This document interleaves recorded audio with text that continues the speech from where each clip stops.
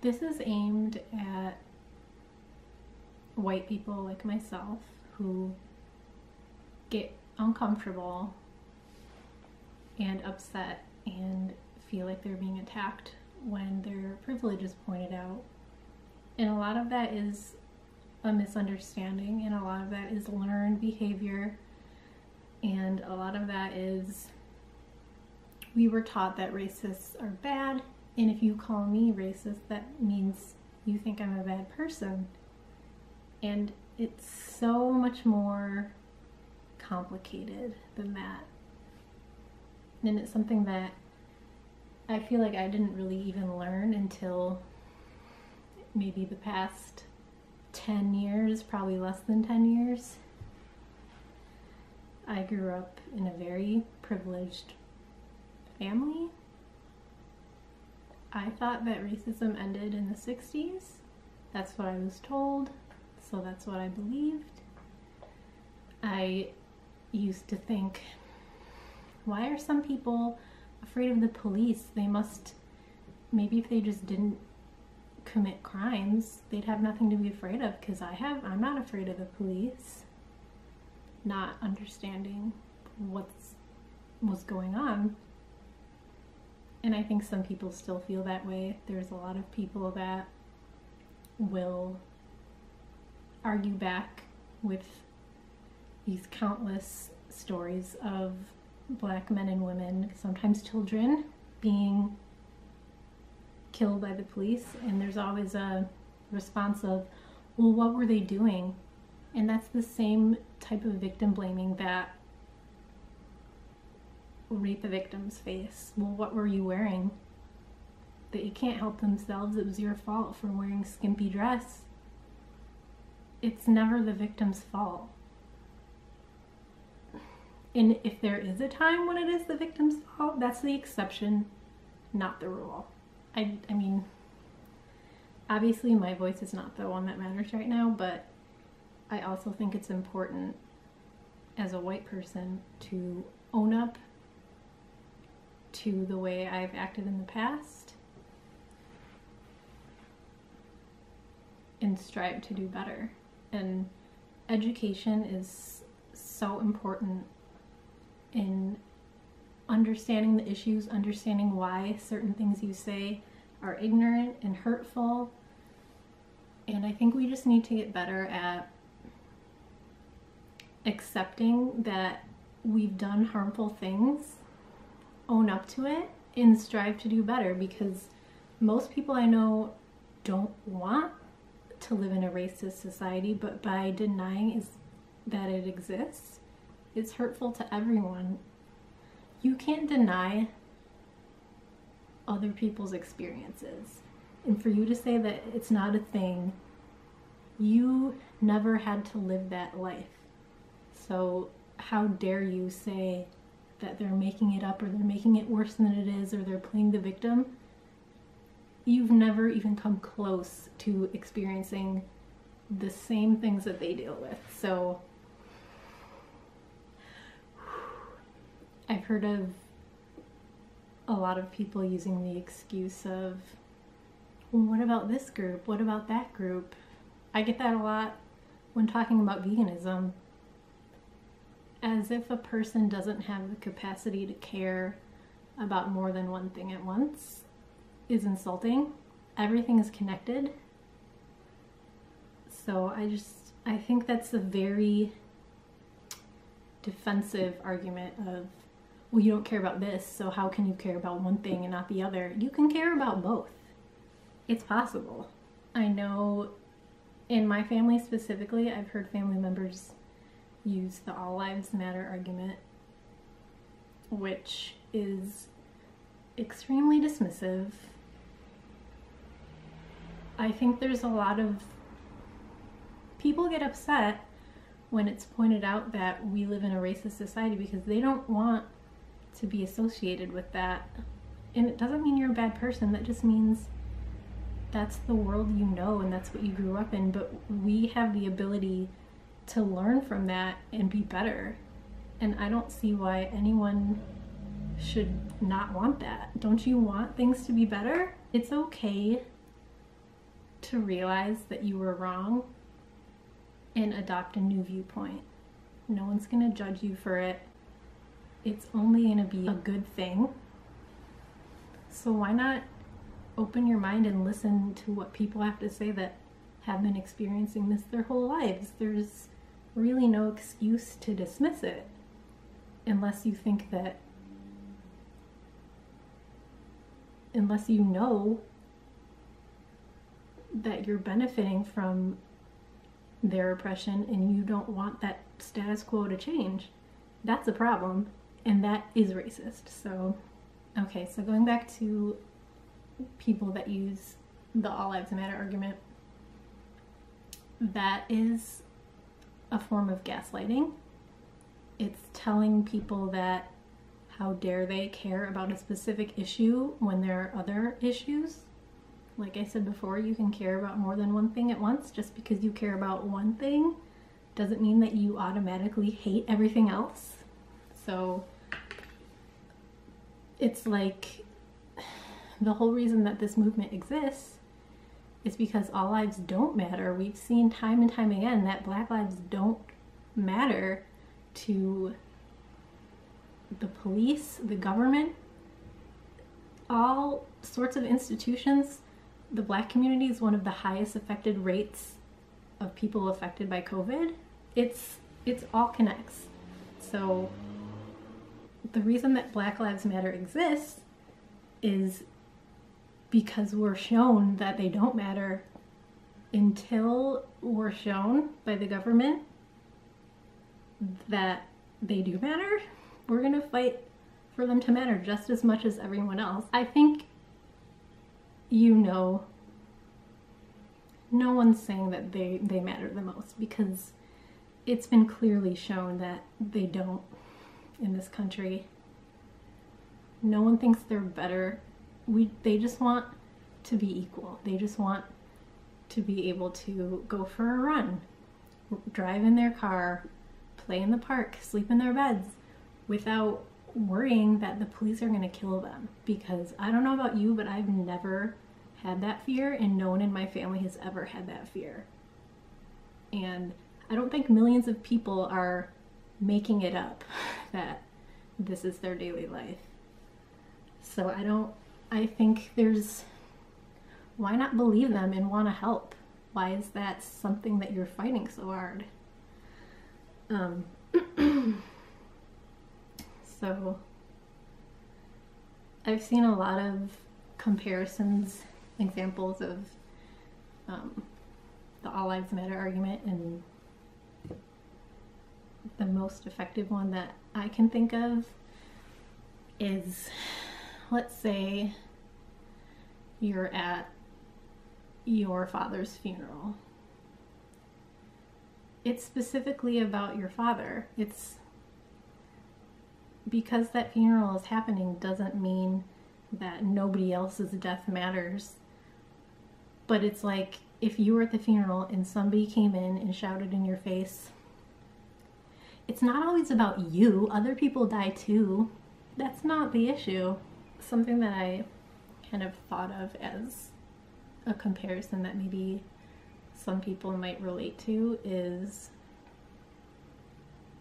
if you've ever had a family member mistreated in the hospital.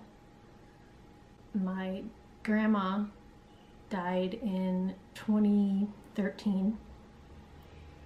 She went downhill fast, and part of what sparked that was she fell and hit her head in the hospital. And I remember my family being very upset, obviously wanting to hold accountability for the hospital and whoever was on duty supposed to be watching her. So just think about that. Think about a family member you love being the victim of malpractice. And then imagine that that malpractice was filmed. And everyone could see how blatantly wrong it is, yet nobody gets maybe they get reprimanded. They don't, there's no, there's no consequence. This is what the black community is seeing day in and day out, but they're seeing people that they love and people that look like them being murdered on camera all the time. So, for people that have never lived that experience, to tell them to stay calm and be peaceful and to grieve in a way that you think is appropriate and have people say, Why is it always about black people? Are you kidding me? Can you imagine seeing somebody you love die on camera and millions of people watch it? And everyone's just like, that's just the way it is. I mean, I don't know. Nothing we can do. You would be inconsolable. So just try to remember everything that happens does not happen because they brought it upon themselves. It happens because we built the system that causes this to be a repeating issue day in and day out. And regardless if your family, when your family came here, you weren't a part of the beginning of this country that was built on slavery. You're a part of this country now. And if you don't agree with it, if you don't agree with slavery, which no one should, obviously, but you can't you can't just dismiss your responsibility just because your ancestors weren't personally responsible doesn't mean that you're off the hook and you just don't have to worry about it. You should want to make this country a better place. You should care about other human lives. And if you don't, then you really have to ask yourself why you get so defensive. Why why does it bother you so much to hear the words Black Lives Matter? Is it because you don't really believe that? That's something that you have to sit with.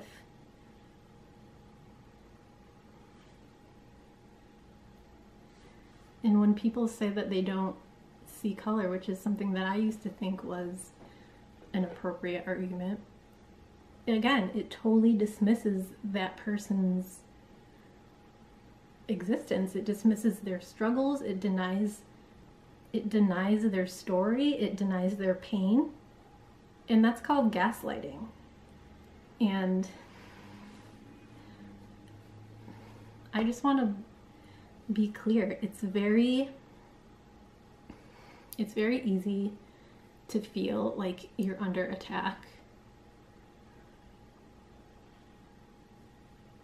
But just compare these feelings of being called out to watching people you love every day get killed by people that are supposed to serve and protect. And more times than not, they do not receive any punishment unless there's public outcry.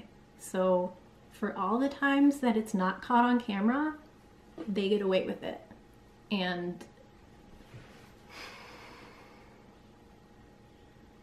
the argument that it's a few a few bad apples we all know that people in power do bad things and they will do everything they can to stay in power and to protect the people in their group. So all the police that don't speak up, that don't turn in other officers for doing blatantly heinous illegal crimes, they are complicit and they are just as guilty. And few bad apples or not, if you're not one of the bad ones, you should be just as angry and wanting to reform the system. Because what do you have to lose if, if you're on the good side? I mean, it can only get better, right? So why wouldn't you fight for that? And if you don't, you have to really think about what you really feel. I can't remember that the woman's name that did all the um, anti-racist exercises in the 60s. She did the blue eyes, brown eyes experiment. I'll find it and link it. But I just saw a clip of her speaking to an audience, and I don't know when it was filmed, but she was pointing out it was a room full of white people, and she said, If any of you would wake up tomorrow and want to trade places with a black person, would you? Raise your hand. Nobody, not one person raised their hand. And she said, That's enough to show me that you know that they're treated differently and that they have it worse. So there's no excuse for saying that you don't you don't know or you don't think they have it that bad. Would you trade places with them? I don't think you would. And that's because you know that you know. So I think the strong and the brave thing to do is if you're if you're a religious person and you go to church, do you really think Jesus would see what's happening and be like,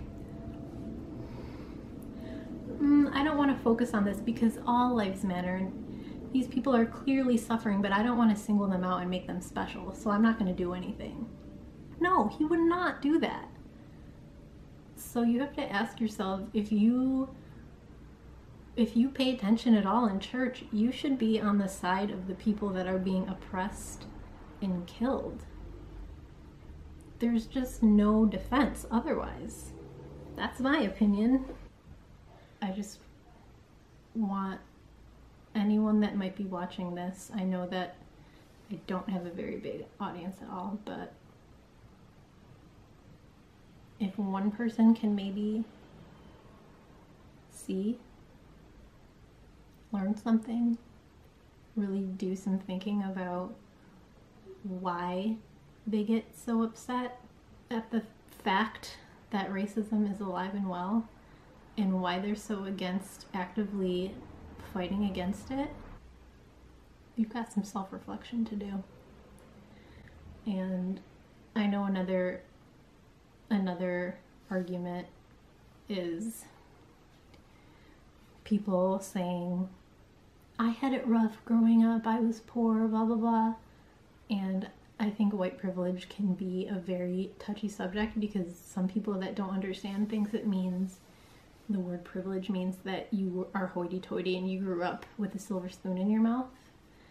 And it's important for you to understand that that's not what that means. It means any hardship that you have faced in your life was not made harder because of the color of your skin. That is all it means.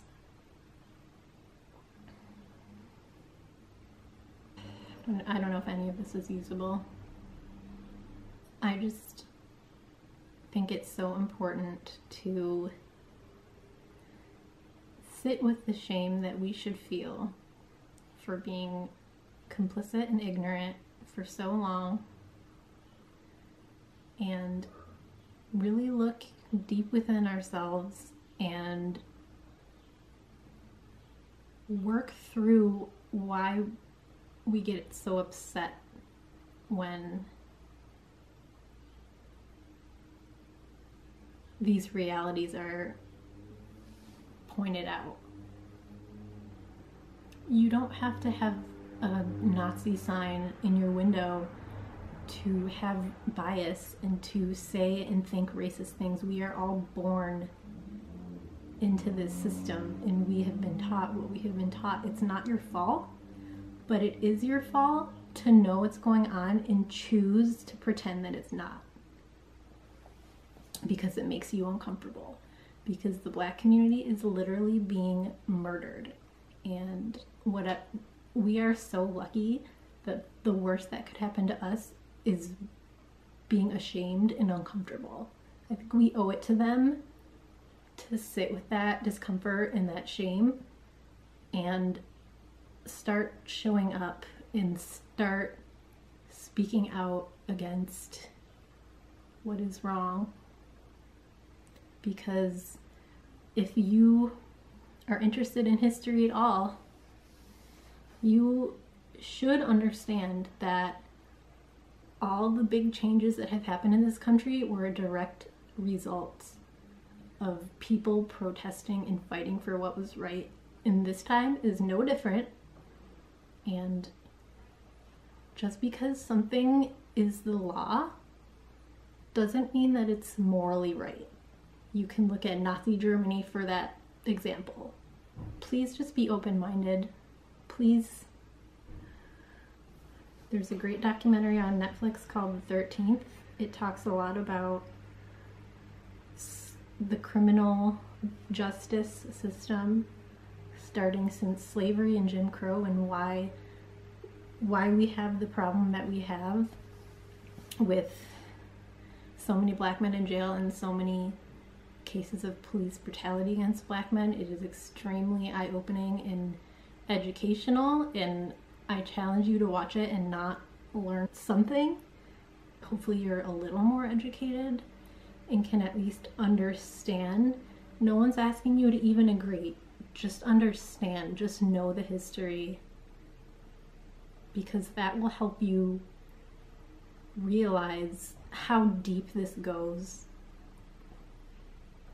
and how racism is more than just name calling and stuff like that. This is people are dying. People are afraid. People are grieving, hurting, and it's up to us to help fix it, regardless if our ancestors were involved or not. We live here now and we need to help fix it today.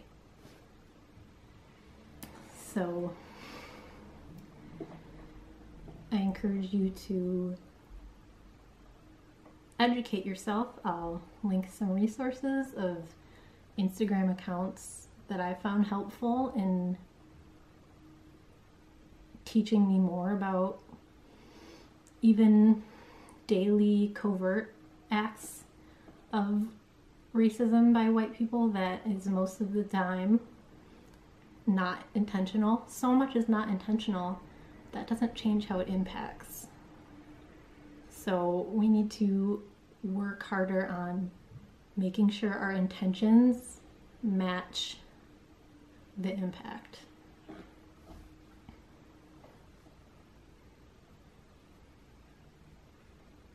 So that's all, I guess. Let's do better.